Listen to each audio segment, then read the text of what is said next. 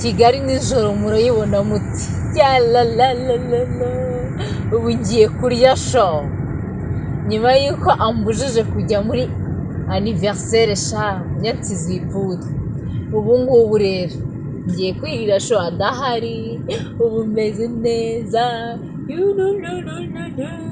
Hey! Umva ibintu bimeze neza hano. Ariko aho twahuriye hafite imbaraga. Ni naho hatumye akomeza kunyihanganira cyangwa se nanjye nkomeza kumwihanganira. Murabibona nyine twamaze kugera mu birori bya dora. Ah, rero nishimiye cyane kubona umukunzi wacu nanone nkuriyeyo nawe. Ah, akimara kuvuga rero ati nkunda Fiachan Jeannette ndetse mvuga nti mana we. Nanjye nishimiye cyane ukuri kukubona ni umugisha ukomeye cyane kujya ahantu nyine hari abantu benshi ukaba ishimwe ishimwe ni iryawe ishimwe ni iryawe ishimwe ni iryawe yesu. Mwami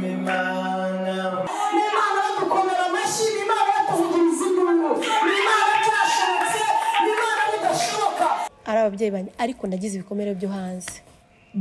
Umuntu mugahura muziranye ndi umucuruzi ugahura n'umuntu. Eh. uvuga ngo ariko ngo kubera icyo utabyara. Eh? ariko ngo ubanze utabyara. Umuntu agahubuka akakubwira icyo kintu. Hmm? hari umugabo umwe yarambabaje pe. Yansanze ndahano mu iduka ngiye kwishyuza abakiriya. Ndi kumwe n'abo bantu nyine urumva twese tuba tugiye kwishyuza. Ngo- ngo ariko ngo ntubyara.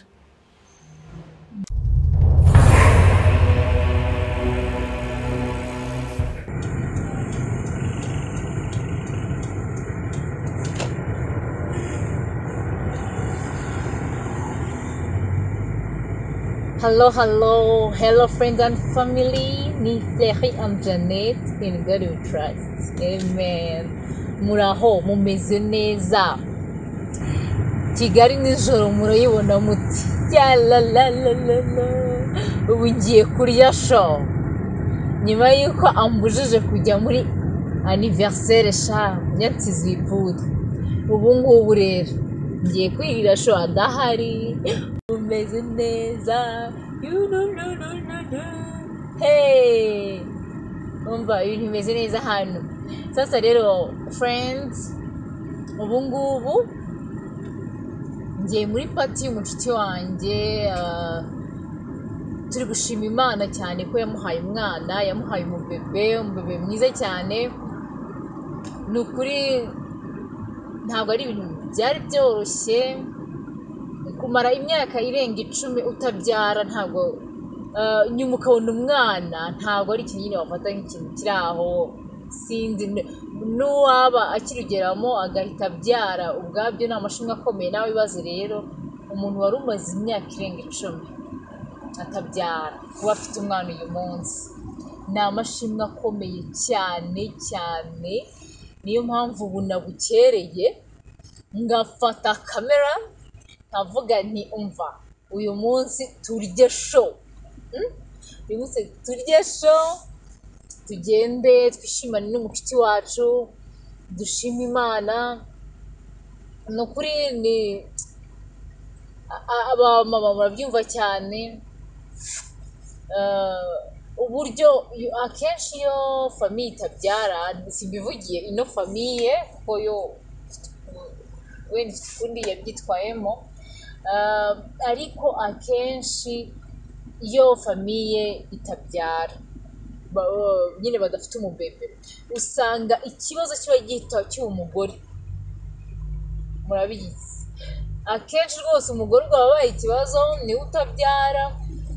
Ah, ntabwo nzi uwabishyizeho niba ari uko sarayi muri we ah, ari we bari baragize ingumba natwe tugahita tubigendera dufite abagore bose ubwo nyine niba habonetse ikibazo ni umugore utabyara simbizi sinzi uwabizanye gusa nyine ntabwo biba byoroshye. Rero ah, shehe wanjye nifatanyije nawe mu gushima imana umva ni ibintu birenze birarenze kwemera ni ugushima imana cyane. Eh, ibi bim- bimpereza icyizere cyane ko n'utarabona umwana kugeza uyu munsi ejo azamubona. Sheri wanjye wowe utarabona umubebe ihangane iyakoze ibi ngibi nawe izabigukorera izaguha umwana. Kuko niyo itanga urubyaro niyo itanga byose izaguha umwana. Ah, mboneraho rero no kubwira abantu bahuye n'igikomere kitoroshye ukagera mu rugo umugabo afite umwana warugeramo wowe ukamubona. Kandi uri obije yo kurera wa mwana w'umugabo cyangwa se umugore akaba azanye umwana ariko umugabo nta rubyaro ni ikintu kiba gikomeye kucyakira ntabwo biba byoroshye. Ariko nshuti zanjye nubwo icyo kigeragezo gikomeye ibi mbivuze kuko nzi ko hari abameze gutya hari gapo zimeze gutyo. Ariko ntibikaguca imbaraga ngo bitume wa mwana aba victime y'agahinda kawe. Ko ntabwo aba yarabihisemo si we uba warasabye imana ngo bigende gutyo. Rero wowe kabyara we jya ugereza kumukunda. Ahubwo noneho wishakemo urukundo wamukunda nk'aho ari uwawe wabonye. Uvuga uti imana buriya rero nubwo itampaye uwo mbyara mu nda yabikoze nyine ibishaka ibizi kugira ngo nzarebe uyu nguyu nta kundi. Uyu impaye reka mfatireho. Ari we ndera ari we nkunda ari we mpereza. Byose nari kwifuza guhereza umwana wanjye. Ndabizi ko bitoroshye. Ubundi hari ikigeragezo cyoroha kukivuga. Kikoroha kikihuta kandi. Urumva amasegonda mbivuzemo ni amasegonda make cyane. Kurenza uko ikigeragezo kiba kingana. Ariko si ni ukwihangana turi mu isi. Nanone mbwira ba bana yewe mwana. Ntuzakire ku mubyimba umubyeyi ukurera kuko yabuze urubyaro. Mukundire umubere umwana. Mukundire umukundire ko umwe mu babyeyi bawe yamukunze akanamukureresha. Bivuze ngo yamwizeye kurenza wa wundi babyaranye wowe. Sibyo? Mwubahe umukunde wumve igikomere afite abana kenshi hari ukuntu asuzugura umubyeyi kuko ntago aba yibwira ngo ejo bizagenda bite. Ejo nawe uzaba umubyeyi ushobora guhura na byo niyo utanahura na byo kandi ariko burya umuntu asigarana ishusho nziza kuri wowe. Akumva iyo umubereye umwana mwiza aravuga ati ntacyo. Nubwo ntabyaye uwanjye bwite ariko yarampagije. Umunezero umubyeyi ukurera yaba yarakubyaye atarakubyaye yishimire kuba agufite. Muri iyi minsi ntabwo byoroshye noneho ubwo eh, eh, eh. ibintu byabaye byinshi kabisa. Hahandi usanga ari umubyeyi ari umwana. Bose bafite depresiyo kandi akenshi uturuka nyine mu muryango wawe hagati ugasanga buri umwe wese afite agahinda ke. Kandi buri wese akumva ni we ubabaye kurenza undi akumva ni we ubangamiwe ni- ni we batitayeho ni we batareba mu miryango tugerageze kwi- kwitanaho. Dukundane. Shima imana kuko umuryango yaguhaye uwiteho cyane nk'aho uwufitiye umwenda jya wita ku bantu bawe kuri famiye yawe nk'aho ubafitiye umwenda.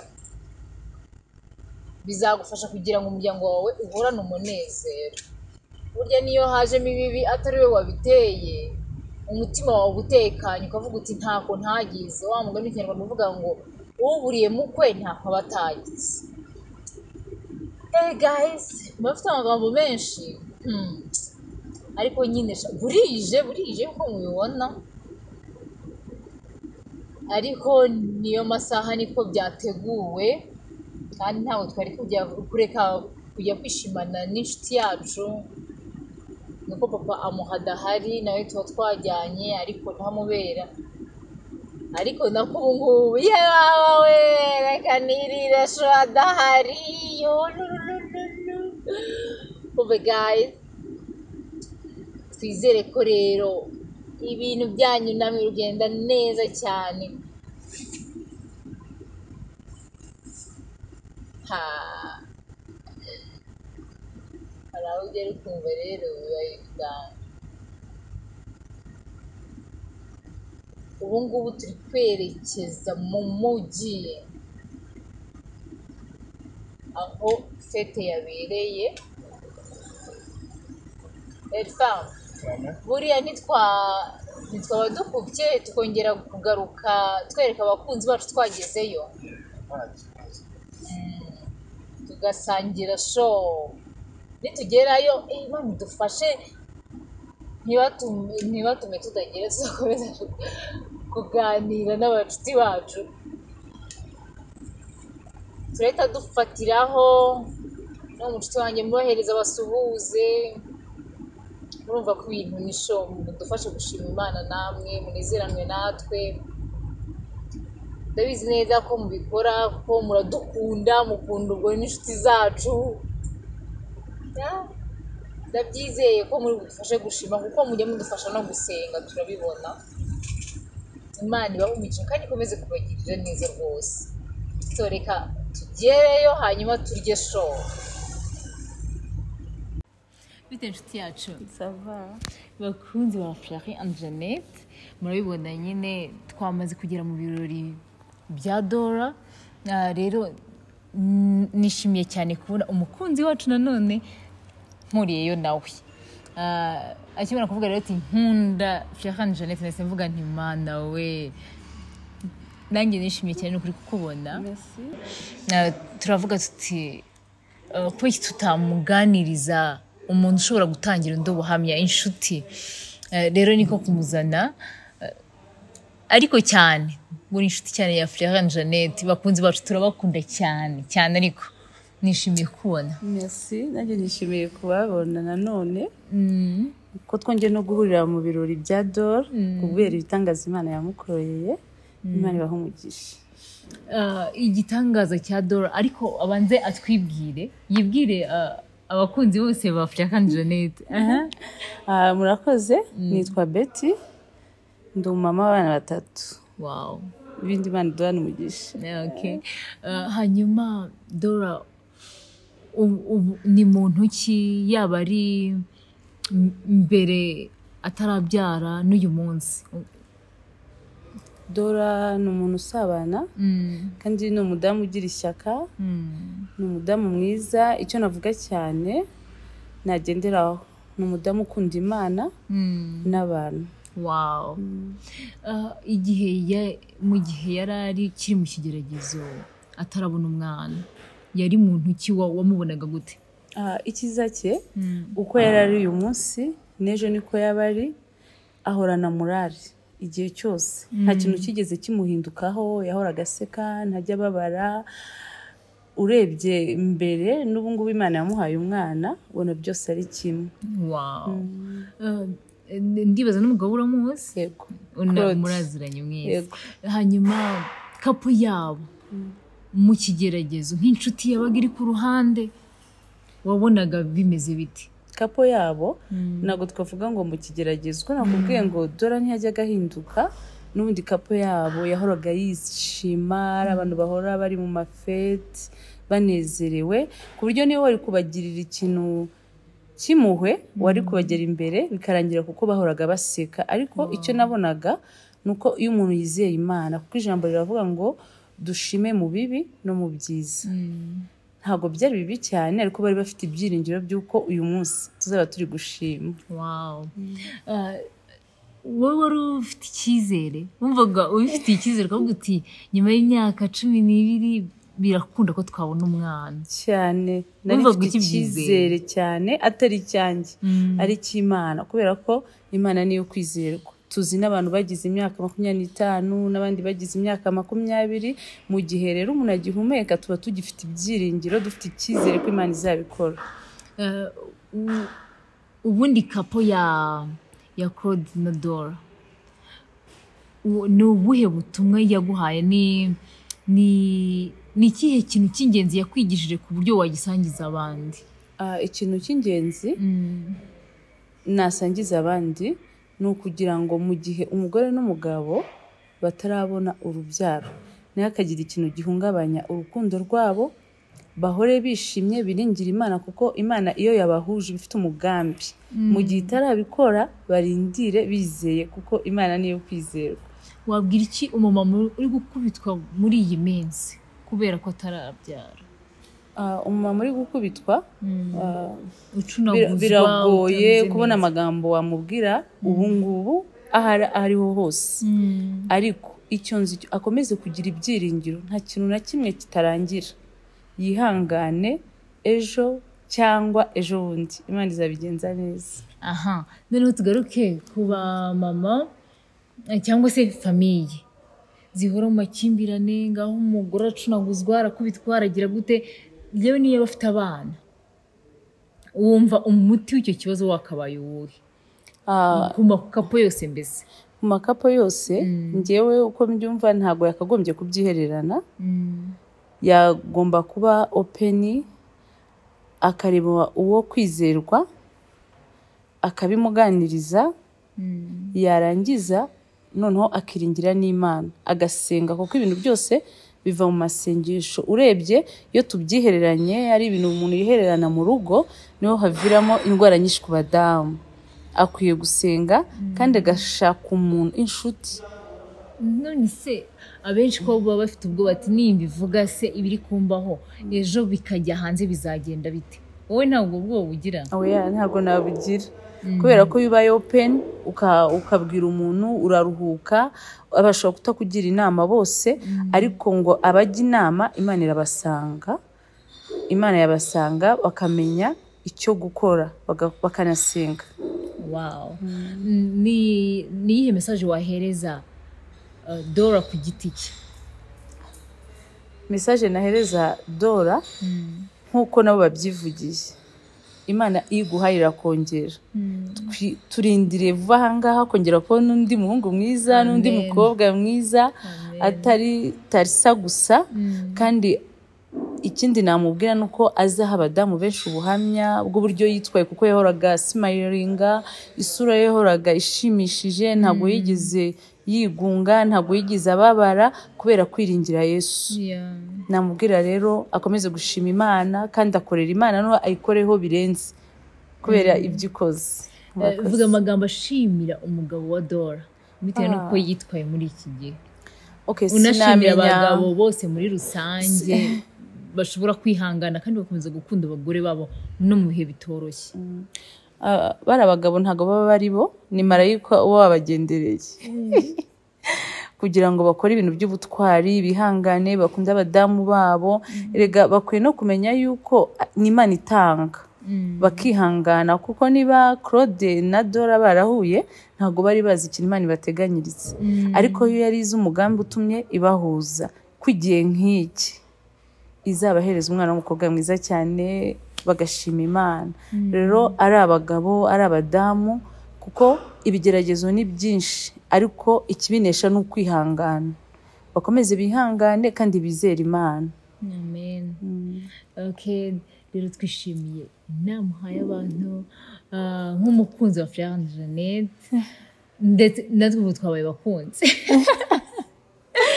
Uzagaruke noneho uganiriza abantu tutahuriye mu birori gutyo gusa ahubwo uzafata umwanya noneho babwira uti inshuti zanjye hari isomo nungukiye mu buzima. Ari naryo ugiye gukomozaho ukazarivugaho cyane ukaza eh, nk'isomo wungukiye mu rushako igihe washakiye. Umaze imyaka ingahe mu rugo? Maze imyaka icyenda. Wow. Imyaka myinshi rwose. Yego. ni irihe somo wabonye mu rugo? Rikomeye? Na- ni isomo nabonye ni uko urugo nabonye ari kado nk'ubu dora na claude. Iyo ugeze mu rugo hari kado imana iguha rero nabonye hari kado iyo tukiri abakobwa tuba tutarabona ariko twagera mu rugo tukabona amakado y'abana kandi urugo ni umugisha. Amen. Aha noneho ni ni iki? Uretse kuvuga ngo urugo ni umugisha ni iki ni ikihe kintu? Kindi tudahuriyeho twese wowe wabonye mu rugo rwawe? Ukavuga uti iki kintu ni impano idasanzwe itabonwa na buri wese. Njye nabonye ku giti cyanjye mu rugo iwanjye. Ah, njyewe impano nabonye ku giti cyanjye ni uko buri muntu uko ageze mu rugo rwe aba afite ikintu imana yamujyaniyemo. Janet- Jeannette wowe hari ikintu imana yakujyaniye mu rugo rwa furera nanjye Betty hari ikintu imana yanjyaniye mu rugo rwa Alex. Ariko icyo navuga muri rusange ikintu kiba kidasanzwe ni ukugira ngo dukomeze twubahishe imana. Muri uru rugo turimo dukomeze turere abana imana yaduhaye tubarere neza kuko iba yarabaduhaye ngo tubarere iyo tuba tutabahaye uburere umugambi imana yadushakagaho ntabwo tuba tuwusohoje yego. Betty arakoze cyane. Abamwifuza nanone mu biganiro birambuye. Mwandike muri comment ngo turashaka Betty turashaka ko mugarura. Wakoze cyane. Urakoze nawe nanjye umugisha. nkoreye surprise. Ukuntu twongeye guhura imana ibaha umugisha kandi televiziyo yanyu turabanezerewe cyane muhora muduha utuntu turyoshye byatuma ukomeza kugira ikintu wiyungura mu rugo. Kuko muraryoshye kubareba n'umwana kuhashi urakoze cyane Betty. Dora Betty. Ni byiza. Ndabibona umeze neza cyane. Meze neza. Ndishimye cyane ku bwawe. Kandi ndashima imana. urakoze nyine simbizi ariko uwiteka ashimwe muri byose. Hanyuma eh, nk'uko wabimbwiye ubuhamya bwawe kuko bwa- bwarema imitima y'abantu benshi. Ubundi mbwira ukora ubukwe. Wateganyaga kuzabyara ryari? Nyuma y'igihe kingana iki? Wari warihaye imyaka ingahe? Nari nzi yuko ningera mu rugo nzahita ntwita mu mezi icyenda nkabyara. Nuko nabyumvaga ni uko mu mutwe wanjye numvaga bimeze. Nk'abandi bantu bose umuntu iyo agiye gushaka aba yumva nagerayo ahita atwita ku buryo usanga hari n'igihe wimajina yuko utwite. Abenshi bagira urabizi abenshi bagira gorosesi imajinaire bagakeka ko batwite bakatwarira n'ibintu. Oh, nanjye narabigize. utumye mbyibuka nanjye narabigize. Ah, ariko mu by'ukuri ngewe ku giti cyanjye numvaga ningerayo nzatwita mu mezi icyenda. Uzaba ubonye umwana. Kuko nkunda abana abantu benshi banzi bazi ko nkunda abana. Numvaga rero mu bintu bya mbere nzabona ari abana ubonye bitinzeho umwaka umwe. Wa- wari umerewe gute icyo gihe ntabwo biba byoroshye. Ntabwo biba byoroshye. Ndibuka amezi ya mbere eh, narindiraga ukwezi nkabona sintwize nkarira. Nkongera ukundi kwezi nkabona ntibikunze nkarira. Ukwezi ngenda amaze umwaka wose nkarira. Ngeze aho mm, ndavuga se bimeze bite? Nyine ni ibintu mbese ikintu cyitwa gushaka ntubyare ni ikintu kidasanzwe. Ni umutwaro udasanzwe ni ikigeragezo kidasanzwe. Ni ibintu bibi. Ni ibintu bibi ni ibintu bibi muri rusange ni ibintu bibi. Rero njyewe ku giti cyanjye byarangoye cyane. Byarangoye nabayeho ndi umwana mutoya nkijijwe si ubuzima bwo mu isi ntabwo nzi. Ntabwo nzi na gake. N'abantu bose banzi banzi ko ndi umuntu ndi umukozi w'imana mba mu rusengero. Kuva ndi umwana w'imyaka itandatu. Nari nzi rero ko jyewe noneho ningerayo bazahita bantera inda nta n'ikindi uwo mugisha wandikiwe. eh, wandikiwe. Numvaga nta n'impamvu n'imwe. Yatuma udahita ni ubyara. Ukuri numvaga ntayo. Eh, ni ukuvuga ngo wumvaga ko kutabyara ari iby'abapagani numvaga Ari bo si n'ubupagani gusa. Numvaga mbese njyewe reka nkubwize ukuri. Numvaga nta n'umuntu nari nzi. Niba ari uko sinzi niba ari uko nabaga mu rusengero nsenga mbona abantu ntabwo nari nzi ko hari abantu babaho. Bakamara imyaka ingana nk'iyo namaze. Nagiye mbibona bi- binshyitseho nkabyobuseriva ariko ubundi numvaga abantu bose nari nzi nkumva ngo babyaye babyaye babyaye babyaye. So byambereye igikomere gikomeye cyane. Ariko ah, imbaraga zose nazihawe no gusenga imana no kubaha imana ah, no kumenya icyo imana yamvuzeho. Eh, kuko sinzi wenda abadukurikira niba bizera imana cyangwa bizera n'abakozi b'imana ariko ndibuka njya gusengera ubukwe bwanjye.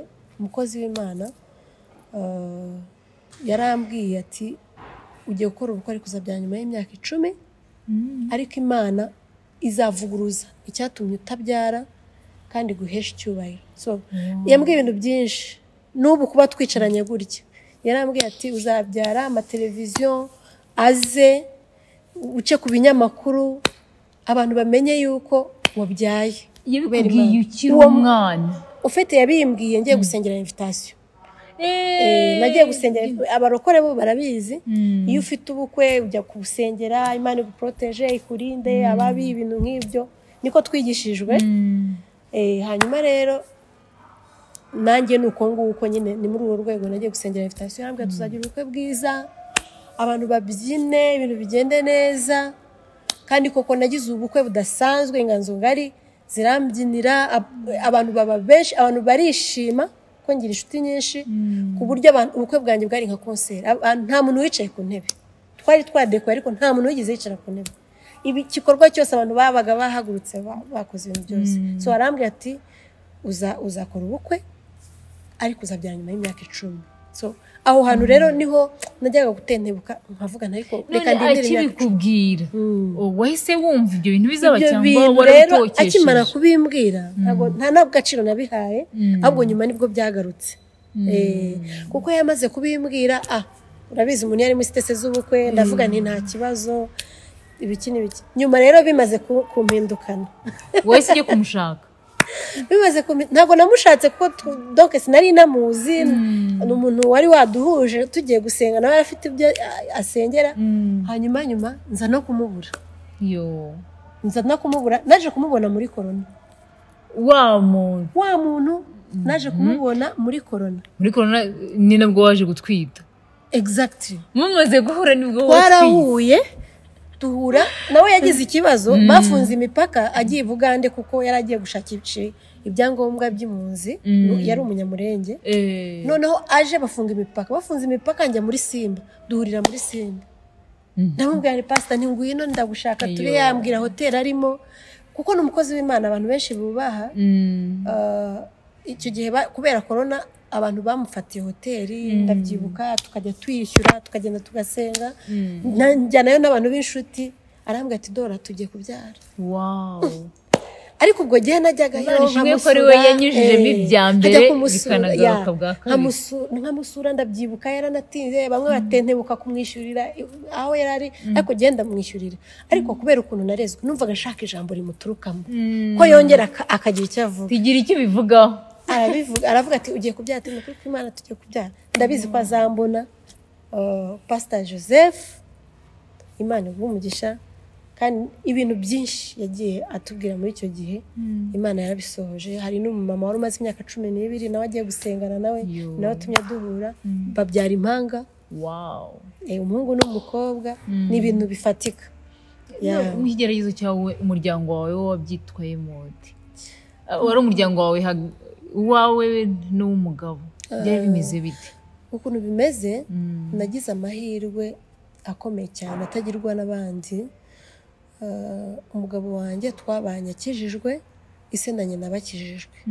Eh, rero baransengeye bakankomeza bakambwira uko imana izabikora ariko ngewe ku giti cyanjye. Hari igihe byacagamo sinakubeshya. Kumva biraremereye kumva birasharira. Birumvikana. Uzi gushyingira umuntu ejo akavuga ati marene ndatwite. Ok nta shyari nagiraga nahoraga nishimye nishimiye abantu.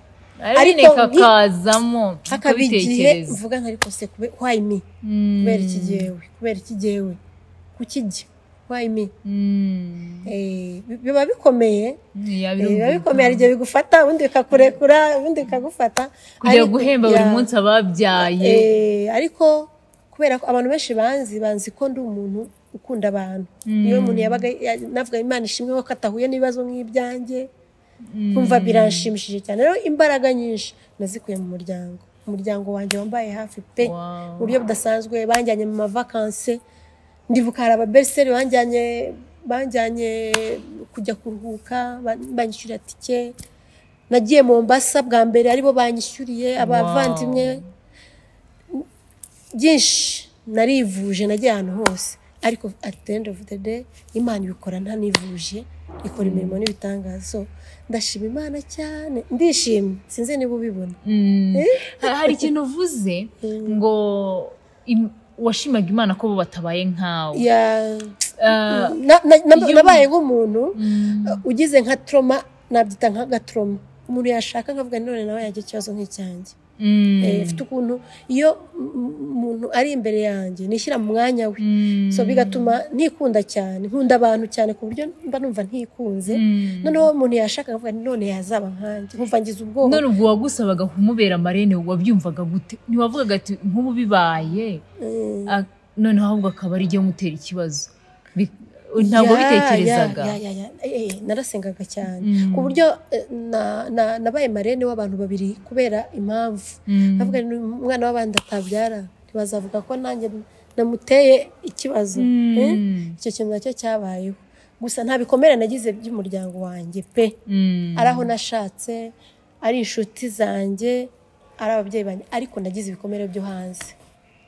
Umuntu mugahura muziranye ndi umucuruzi ugahura n'umuntu. Eh. uvuga ngo ariko ngo kubera icyo utabyara. Eh? ariko ngo ubanze utabyara. Umuntu agahubuka akakubwira icyo kintu. Hmm? hari umugabo umwe yarambabaje pe. Yansanze ndahantu mu iduka ngiye kwishyuza abakiriya. Ndi kumwe n'abo bantu nyine urumva twese tuba tugiye kwishyuza. Naje ngo ngo ngo- ngo ariko ngo ntubyara. Ariko ntubyara. Ya. Wenda hari n'abandi wenda ba- bagendaga bakarya n'inzara hirya ariko uwo muntu. Kuba yarabikubwiye icyo kintu ukabyumva cya- cyarambabaje. Cyarambabaje. cyarambabaje. Ntabwo nshobora kukibagirwa icyo cyo. Niyo nshyira ku ruhande akambaza wayi kubera iki utabyara. Ariko ariko nawe ntabwo wari uzi yarahubutse impamvu. cyane. Ariko ah, nk'umuntu n'ubundi usenga ntibari kubona ikintu umusubiza. Hari hari ikintu twebwe abarokore twita ngo abadayimoni b'abakecuru. Abadayimoni b'abakecuru hari iyo bateye ngo umuntu araza akubwira ngo uzarongorwa ryari? Uzabyara ryari? Ku buryo ufite abana babiri? Uzabyara donke turiya tubazo ba- twebwe abarokore bajya bavuga ngo ni abadayimoni b'abakecuru kubera abakecuru ari bo bakunda kujya mu tuntu. Bambabarire abakecuru ndabubanga n'abakunda ariko hari abantu nigeze kubyo kuko umuntu ukuze arabaza kuko nta, nta information aba afite. Akabaza ariko nk'umuntu mutoya ukubaza ngo kuki utarabyara icya mbere kubyara ntabwo ari ibintu umuntu yiha. pe ari ibyo umuntu yiha. Ibihugu narabigenze. Narabigenze pe nakoze ibishoboka byose umuryango wakoze ibishoboka byose ariko biranga. Eh, so abantu rero ikintu nababwira. Bareke gukomeretsa abantu batarabyara cyangwa batarashaka. Kuko hari ibintu umuntu atiha. None se reka nkubwire inshuti yanjye. Ubu wagenda uka- ukajya kwishakira umugabo ugashyingirwa none se wagenda ukajya mu niba wagiye ku muganga ukivuza ugakora ibintu byose. Ntihagire igishoboka. Petetere nta n'ubwo wakubaganye ntabwo wabaye mu buzima bw'isi. Ibyo bintu bikanga. None se umuntu ujya kukubaza nk'iki kintu mu by'ukuri? Tuvugishije ukuri. Rero n'abadukurikira batugira inama batuma abakecuru bantwanyanga kandi dukundana. Nuko abakecuru bari ukwabo dayimoni z'abakecuru na zo ziri ukwazo. Eh, rero ntawe wakwiyumvamo. Ni ukuvuga rero hari ibintu umuntu atiha. Mm, umugisha umuntu ntawiha hari igihe uvukana n'abantu ntimunganye ubushobozi. Mm. nta mpamvu yo gutinda ku muntu. Kuko umuntu burya wowe uko umubaza n'uko umukurikirana waba wabaye kukurusha. Mm. abantu bige kuvuga amagambo meza. Ubu sinshobora kwibagirwa umuntu wambwiye ati komera bizasohora. Uwo re- kandi ni we utsinze. Mm. wavuze ko ntabyara uwo yaratsinzwe. So abantu bige kuvuga amagambo meza. Nta nubwo bigezweho kuvugana ayo magambo Ntabwo mabi si byo none nihe nama wagira abamama uyu munsi bakiri mu kigeragezo nk'icyo uvuyemo. Nababwira ngo bakomere. Bakomere banyigireho bikunde. Mm. bambare neza basohoke bikunde basenge cyane. Kuko niyo ntwaro nakoresheje ariko hari ukuntu umumama ahura n'ikigeragezo.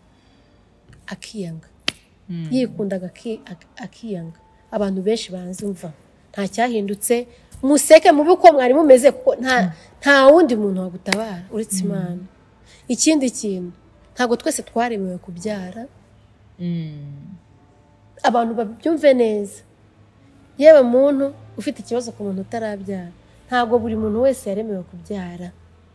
Dufite ingero nyinshi z'abantu bo muri bibiri hari n'aba- hari n'abafashe desiziyo baravuga ngo turetse kubyara ku- gushaka Mm. turabafite ingero nyinshi muri bibiri rero dufite n'ingero nyinshi zo muri bibiliya z'aba- z'abantu babyaye batinze. Yego. nk'uko nanjye natinze. Dufite ba sara dufite ba hana kandi bose ba- batahanye intsinzi. Mm. ndagira ngo mbwira umubyeyi aka kanya.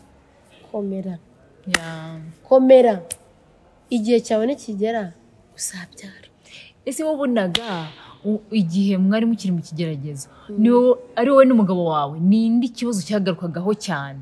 Ngo nyine abantu ba- uwo batungaga intoki ntubyara wabonaga umugabo we babikora cyane nk'uko ubundi ubundi n'isaha wenda bo twebwe twebwe byarikoze gusa birasitopa tukajya kwa muganga baka- bakabura indwara bakabura ikintu icyo ari cyo cyose. Mm. ariko nzi neza yuko intoki nyinshi ziri kuri jye Mm. ubona biterwa n'iki bitonde ntabwo abagore ari bo batabyara gusa. Mm. n'abagabo bashobora kutabyara.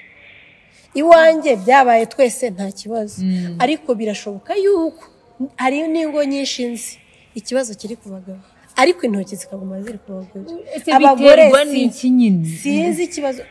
Ni imyumvire ni imyumvire ni ubujiji sinzi niba ariko nabyita ah, ngira ngo ni uko abagore ari twebwe dutwara abana mu nda. Bakumva Eh, ariko nanone bagomba kumenya yuko tutanitera inda.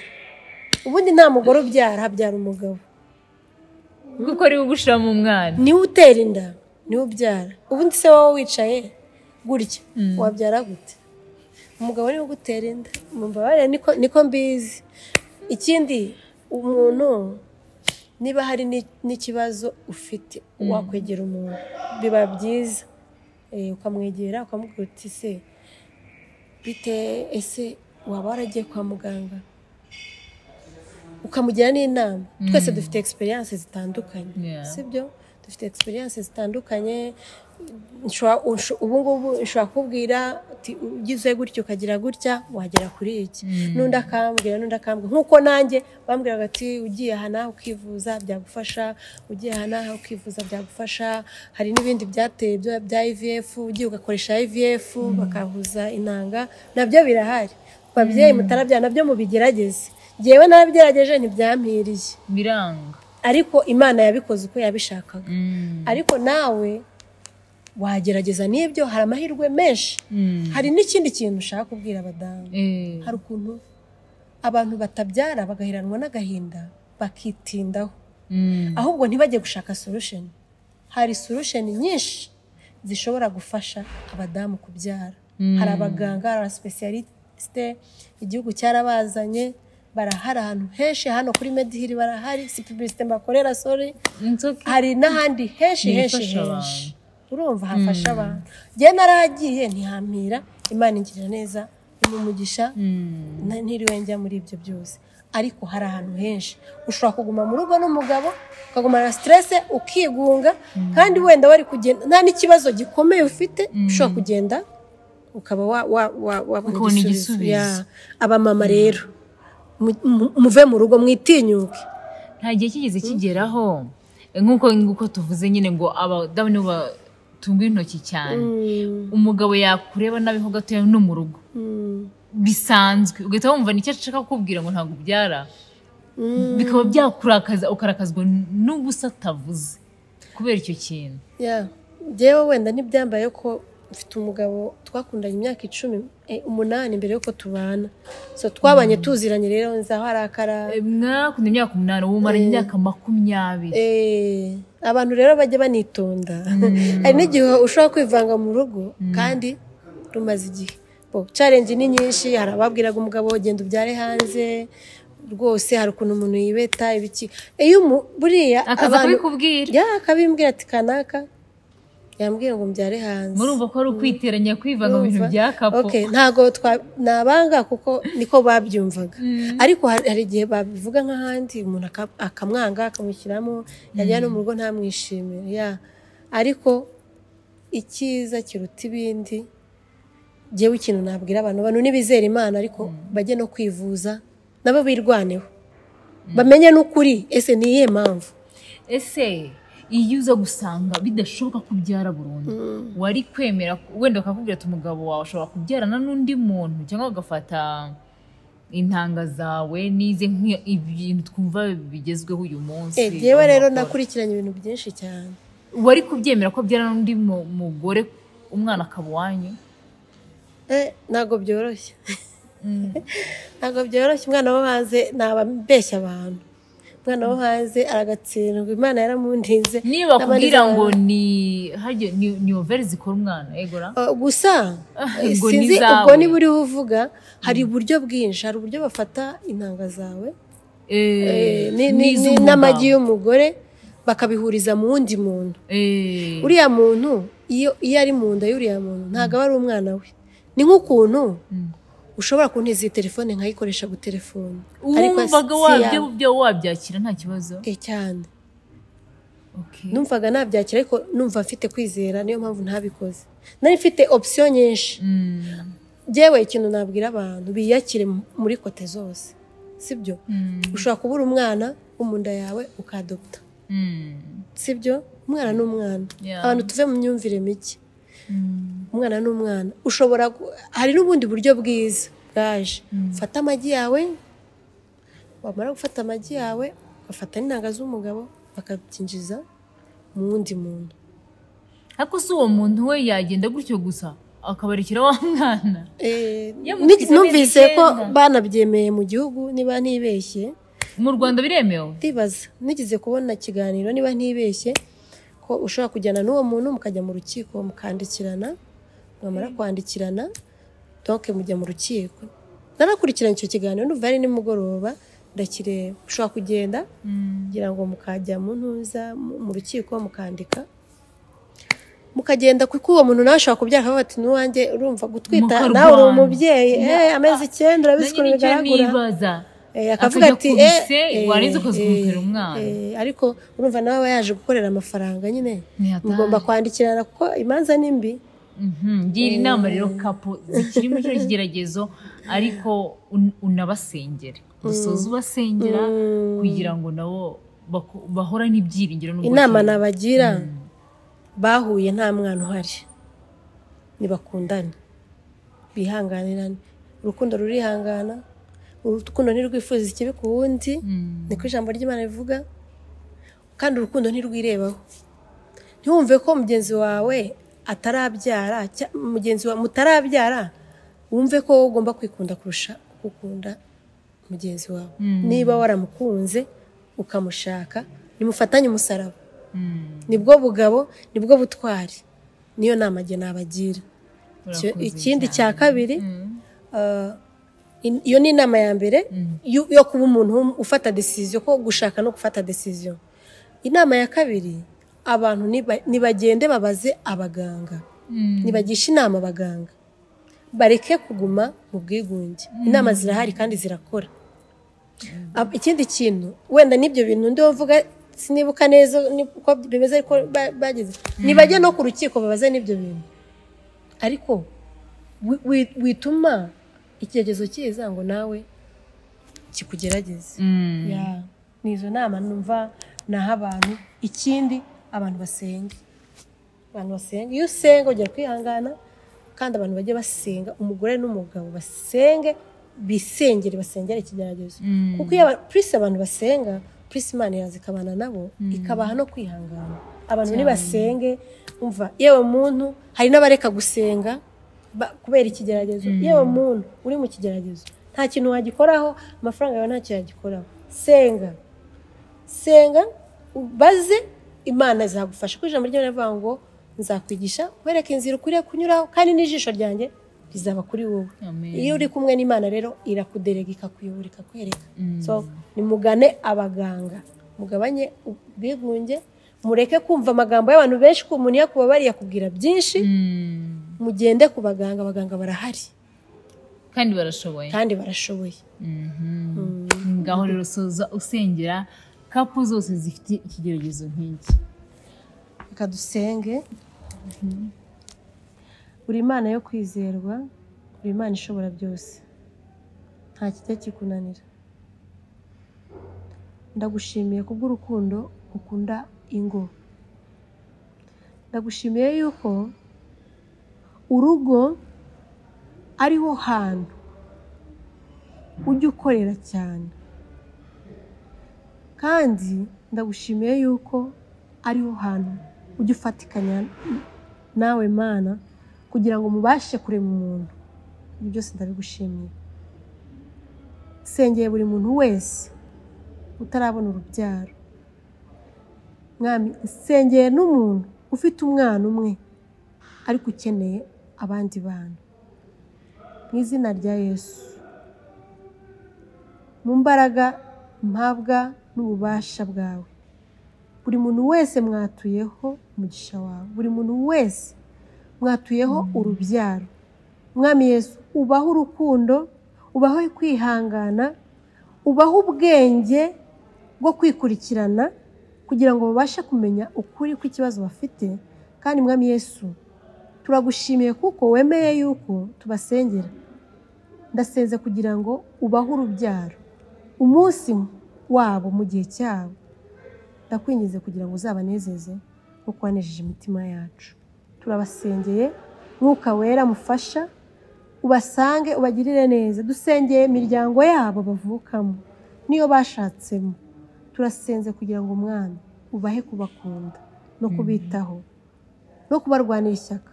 Kandi mwana wereke buri muntu wese ko nta ruhare babifitemo. Nzi yuko ushobora byose. Nzi ko nta kijya kikunanira. Hejuru y'ibiturwanya hejuru y'ibiduhiga hari imbaraga zawe. Ndagushimiye rero mwami yesu waha icyubahiro shyize hejuru izina ryawe hejuru kandi nkushimira kubwo ababyeyi bose babuze urubyaro bakarubona nyuma y'igihe kirekire warakoze. Kandi mfite kwizera yuko n'undi wese urindira urubyaro uzabikora kuko uri imana ikorera mu gihe. Turagushimiye tuguhaye icyubahiro mu izina ryawe yesu. Amen. Urakoze cyane. Urakoze namwe papa. Komeza uhabwe umugisha mu bebe wawe imana ikomeze kumurinda ndetse famiye yawe. Imana ihe umugisha cyane. Kuba yarabashyigikiye mu kigeragezo nka kiriya mpaka mukaba mukivuyemo amahoro. Urakoze. Mwakoze cyane rero kubana natwe. Ni kuri Florent Jeannette kora subscribe usharinge naho utaha. Babaye